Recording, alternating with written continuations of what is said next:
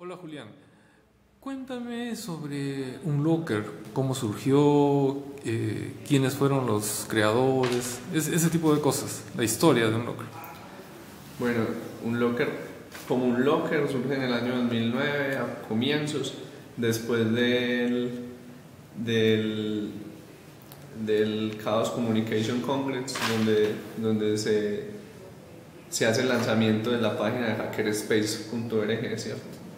Entonces eso nos motiva de pronto, ya teníamos pues como, como una comunidad que viene de, artistas que hacen música libre, otros artistas con otros tipos de iniciativas, gente técnica de los, de los colectivos de, de usuarios de Linux, de redes inalámbricas.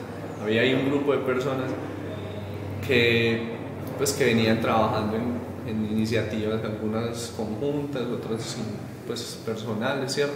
Iniciativas de todo tipo, pues como de, de, tecnológicas, pues, de, por ejemplo, lo de las redes inalámbricas, otros más de, desde la parte pues como artística o la convergencia entre arte y tecnología, ¿cierto? Entonces ahí se nos ocurrió crear una lista de correos, ¿cierto? Y proponer un tema de discusión y un grupo para conformar un espacio físico de trabajo, ¿cierto? Entonces, porque desde años antes veníamos encontrándonos para charlas o hacer cacharreos de cosas, aprender alguna cosa, compartir alguna información en casas de amigos o en, eventos o en bares, en lo que fuera, ¿cierto? Pero siempre teníamos que estar andando pues como con las herramientas y con, con, con todo el material pues en la maleta, los computadores, las herramientas.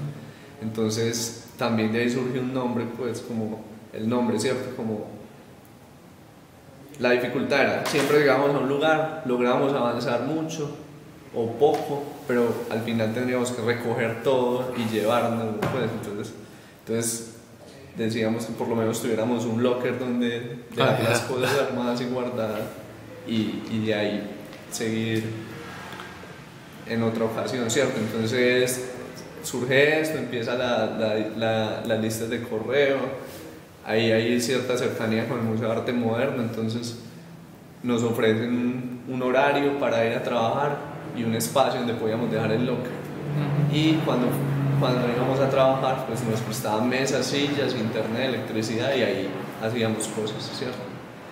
Entonces se, empieza a trabajar, también es, pues digamos, hay un objetivo siempre el objetivo era como encontrar un lugar, pues, ¿cierto? Ese era lo o sea, no hay una, una, meta pues definida, ni unos proyectos, ni unas líneas que, pues, que definan pues como el rumbo de trabajo, sino que pues al, al, al interés, yo lo defino como un locker, es como un espacio para compartir la curiosidad.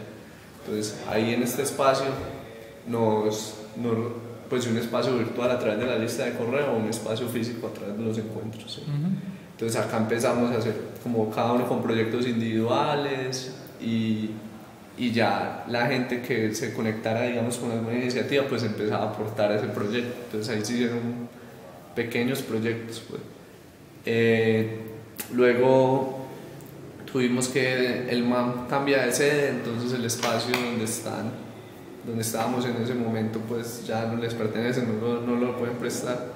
Entonces ahí pues como un momento donde nos quedamos sin lugar, ¿cierto? Pero igual seguíamos la discusión por, por correo. Y eh, Casa Tres Patios, este lugar donde está, es como un, como un centro de, que promueve prácticas artísticas contemporáneas. También tiene espacios de residencias acá pues en la ciudad de Medellín. Nos ofrece trabajar en la casa. Entonces inicialmente nos dan acceso nos dan llaves pues para entrar cuando quisiéramos. El, digamos, eso fue una ventaja frente al MAN porque nos teníamos que ceñir a los horarios de, de, la institución. Y no teníamos un lugar definido, empezamos a trabajar pues como en el comedor en la parte de atrás. Ellos muy amablemente luego vieron que nos estábamos apoderando de todo el comedor y nos, nos recomendaron pues y nos dieron la posibilidad de, de usar el garaje. Entonces ya llevamos desde 2010, finales del segundo semestre del 2010 hasta la fecha, hay sin pagar un solo día pues, de arriendo ni nada. Los, los intercambios, digamos, son como los asesoramos en temas de tecnología, asesoramos artistas que vengan acá o no- y necesiten ayuda pues como con temas tecnológicos, pues estamos acá, dinamizamos un poco la casa de, otro, de otras maneras. Eh, ahí pues surgen proyectos conjuntos como talleres y cosas que, en los que hemos participado, pero pues digamos no hay, una, no hay un intercambio pues o una retribución económica, Ujú. ¿cierto? Eso Sí. es como desde, y eso siempre ha estado ahí. Y, y ya el- como en el espacio físico pues hemos tenido muchos momentos también, ¿cierto? Desde, primero era un, un espacio muy desorganizado, luego como por diferentes proyectos y cosas que surgían, pues hemos adquirido un poco de recursos, entonces hemos ido comprando herramientas muy básicas. Y, y el espacio pues básicamente es una mesa, internet y electricidad. Y hay un poco, pues un- una cantidad limitada de herramientas pues que nos permiten hacer cosas. ¿Cuántas personas puede decirse que sean eh, un locker? Pues mira, yo como lo veo es, para mí cualquier persona que esté en la lista de correos pues hace parte de alguna manera de un locker, ¿cierto? La lista es una lista desde el 2009 que tiene más de 5.000 hilos de conversaciones y más cantidad de mensajes, ¿cierto? Y en la que están inscritas como más de 70 personas también, ¿cierto? Ya pues algunos no hablan mucho, otros solo están ahí escuchando, eh, otros hablamos más, ¿cierto? Entonces, como por la parte de la lista hay 70 miembros, puede ser. Y hay unos miembros ya que nos reunimos físicamente que pueden llegar como a 20, 25 personas, ¿cierto? Digamos, algunos están fuera del país, bien, cuando vienen pues pasa pues sí, renuevan un poco pues como la energía con cosas que traen, cosas que... Y, y, digamos, ten- ya hemos adquirido desde hace un año aproximadamente como el hábito de reunirnos los sábados como fijo. Entonces los sábados venimos, cada quien trabaja en lo que tenga que trabajar, o si hay un, hay un proyecto conjunto, pues se trabaja pues conjuntamente en eso. Eh, y pues hay una cosa ahí como muy clara, es que es un espacio, o sea, libre entrada, libre salida, igual, cuando quiera. No hay, no hay pues, o sea, nadie te va a decir porque, nada porque no apareces en tres meses o cuatro, ¿cierto? Simplemente nos ponemos muy felices cuando, cuando vuelve a aparecer. Los sábados, también una cosa pues, que nos ha unido un poco es también como cocinar juntos. Entonces hacer el almuerzo, buscar y acá estamos, tomamos pues como cerveza y, y, y estamos trabajando pues en cosas. ¿Y el futuro, cómo lo ven? El futuro, ¿Qué proyectos, eh, aparte de los proyectos actuales en los que ya conversé con el amigo eh, Fabio, ¿qué, ¿cómo visualizas el futuro de un locker? Así igual la, la pandilla de amigos. yo creo que pues es una cosa que, que protegemos un poco pues porque es un espacio como de, de, de entretenimiento, un entretenimiento inteligente, ¿cierto?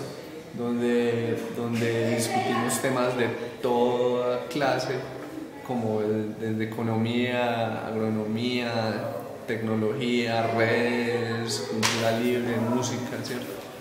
Pero, pero no se ve pues como, un- como- como una consolidación, como un, un grupo que promueva pues como una, un objetivo muy claro, ¿no? Simplemente estamos ahí, nos vamos adaptando a las, a las necesidades, yo creo que así, así es, yo me lo imagino pues. Y, y, digamos, surgen cosas, se resuelven, un grupo, todo el grupo, una sola persona. eh, y ahí nos vamos moviendo con eso. Y es un espacio que protegemos mucho, pues, como- o yo personalmente protejo porque yo no tengo otro lugar donde yo me entretenga de la manera que yo me entretengo acá. ¿cierto? Claro. Entonces, entonces pues como en, en ese sentido, yo personalmente no quiero que cambie mucho. Pues, ¿cierto? Ujú. Yo lo- el futuro lo, lo- me lo sueño pues igual, ¿cierto? Cada vez, digamos, nos vamos volviendo más sofisticados y compramos cosas que nos permiten pues como jugar con tecnologías más nuevas o, o surgen temas que nos permiten estudiar nuevos temas, pero pero, pero siempre es como desde el entusiasmo pues y la motivación. Por eso no hay como no hay otra cosa pues que, que, que, que intervenga ahí pues como para hacer eso. Ok. Chévere. Gracias. Bueno un gusto